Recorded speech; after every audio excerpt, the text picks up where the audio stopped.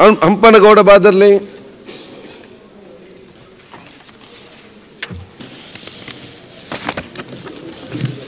Sir, Sindhanur ಮತಕ್ಷೇತ್ರದ ಗೊರೆಬಾಳ್ ಗ್ರಾಮ ಪಂಚಾಯಿತಿಯಲ್ಲಿ ಎರಡು ಸಾವಿರದ ಹದಿಮೂರು ಮತ್ತು ಎರಡು ಸಾವಿರದ ಹದಿನೆಂಟನೇ ಸಾಲಿನ ಅವಧಿಯಲ್ಲಿ ಸುಮಾರು ಐದಾರು ಕೋಟಿ ರೂಪಾಯಿ ಅನುದಾನ ಅವ್ಯವಹಾರ ಆಗಿದೆ ಎಂಬ ದೂರಿನ ಮೇಲೆ ಮಾನ್ಯ ಗ್ರಾಮೀಣ ಅಭಿವೃದ್ಧಿ ಸಚಿವರ ಗಮನವನ್ನು ಸೆಳೆಯೋಕ್ಕೆ ಇಚ್ಛೆಪಡುತ್ತೆ ಉತ್ತರವನ್ನು ಕೊಟ್ಟಿದ್ದೀವಿ. ಅಧ್ಯಕ್ಷ ಏನಾದರೂ ಕ್ಲಾರಿಫಿಕೇಶನ್ ಇದ್ದರೆ ಖಂಡಿತವಾಗಿ ಅದ್ರ ಬಗ್ಗೆ ಪರಿಶೀಲನೆ ಮಾಡ್ತೀವಿ.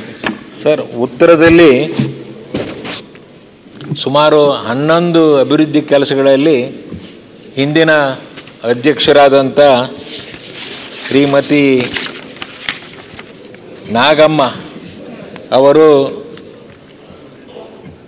ಪ್ರಿನ್ಸಿಪಲ್ ಸೆಕ್ರೆಟರಿ ಅವರಿಗೆ ಒಂದು ದೂರನ್ನು ಕೊಟ್ಟು ಆ ದೂರಿನ ಆಧಾರದ ಮೇಲೆ ಹದಿನಾರು, ಹದಿನೈದು, ಹತ್ತು ಮತ್ತು ಎರಡು, ಇಪ್ಪತ್ತೆರಡರಂದು ಒಂದು ತನಿಖಾ ತಂಡವನ್ನು ಕಳಿಸಿ, ಆ ತನಿಖಾ ತಂಡ ಸಿಂಧನೂರಿಗೆ ತಾಲೂಕಿಗೆ ಭೇಟಿ ಕೊಟ್ಟು, ಗ್ರಾಮ ಪಂಚಾಯತಿಗೆ ಭೇಟಿ ಕೊಟ್ಟು, ಅಲ್ಲಿ ಹನ್ನೊಂದು ಅಭಿವೃದ್ಧಿ ಕೆಲಸಗಳ ಬಗ್ಗೆ ಎನ್ಕ್ವೈರಿ ಮಾಡಿದಾಗ, ಅವರು ಮಹಾಜಾರು ವರದಿಯಲ್ಲಿ ಇಂತಿಂಥ ಯೋಜನೆಗಳಲ್ಲಿ ಹಿಂಗ ಅವ್ಯವಹಾರ ಆಗಿದೆ, ಮೇಲ್ನೋಟಕ್ಕೆ ಕಂಡು ಬಂದಿದೆ ಎಂಬ ವರದಿಯನ್ನು ಸರ್ಕಾರಕ್ಕೆ ಕೊಟ್ಟಿದ್ದಾರೆ.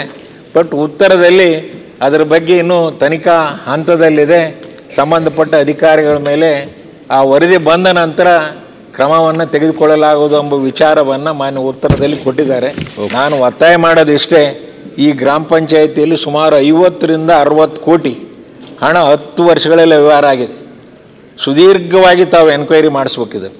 ಮಾಡಿ ಮೊದಲು ಆ ಸಂಬಂಧಪಟ್ಟ ಪಿ ಡಿ ಒಗಳು ಏನಿದಾರ ಆ ಪಿ ಡಿ ಒಗಳ ಮೇಲೆ ಸೂಕ್ತ ಕ್ರಮ ತೆಗೆದುಕೊಳ್ಳೋಕೆ ಒತ್ತಾಯ ಪಡಿಸ್ತಿರ್ತಾರೆ ಓಕೆ ಮಾನ್ಯ ಅಧ್ಯಕ್ಷರೇ, ಈಗಾಗಲೇ ಉತ್ತರದಲ್ಲಿ ಕೊಟ್ಟಂಗೆ ಈ ಸೋಷಿಯಲ್ ಆಡಿಟು ಮತ್ತು ಲೋಕಲ್ ಆಡಿಟ್ ರಿಪೋರ್ಟ್ ಪ್ರಕಾರ ಅವ್ಯವಹಾರ ಅಂತೂ ಮೇಲ್ನೋಟಕ್ಕೆ ಆಗಿದೆ ಅಧ್ಯಕ್ಷರೇ. ಅದ್ರ ಪ್ರಕಾರ ಸ್ವಲ್ಪ ಮಟ್ಟಿಗೆ ಏನು ವಸೂಲಾತಿ ಮಾಡಬೇಕಾಗಿತ್ತು ಅದೂ ಆಗಿದೆ. ಮಾನ್ಯ ಸದಸ್ಯರು ಹೇಳ್ದಂಗೆ ಇನ್ನು ತನಿಖೆಯನ್ನು ತೀವ್ರಗೊಳಿಸಬೇಕು, ಮತ್ತು ಏನು ಗಂಭೀರವಾದಂಥ ಆರೋಪ ಇದೆ, ಅದ್ರ ಮೇಲೆ ಆ್ಯಕ್ಷನ್ ಆಗಬೇಕು ಅಂತ ಇದ್ದಾರೆ. ಅದನ್ನು ನಾನು ಅವ್ರ ಹತ್ರ ಹೆಚ್ಚಿನ ಮಾಹಿತಿ ಪಡೆದು ಇಮಿಡಿಯೇಟಾಗಿ ಆ ಪಿ ಡಿ ಒಗಳು ಅಲ್ಲೇ ಇದ್ದರೆ ಅವ್ರನ್ನ ರಿಲೀವ್ ಮಾಡೋ ಕೆಲಸ ಅಂತೂ ನಾವು ಮಾಡ್ತೀವಿ. ಮತ್ತು ತಪ್ಪಿಸ್ತರಿಗೆ ಶಿಕ್ಷೆ ಕೊಡಿಸಿ ಅಧ್ಯಕ್ಷರೇ ತನಿಖೆಯನ್ನು ಫಾಸ್ಟ್ ಟ್ರ್ಯಾಕ್ ಮಾಡಿಬಿಟ್ಟು ಮಾನ್ಯ ಸದಸ್ಯರದ್ದು ಏನಾದರೂ ಹೆಚ್ಚಿನ ಮಾಹಿತಿ ಇದ್ದರೆ ಅದು ಪಡ್ಕೊಂಡು ಮಾಡ್ತೀವಿ ಅಧ್ಯಕ್ಷರೇ.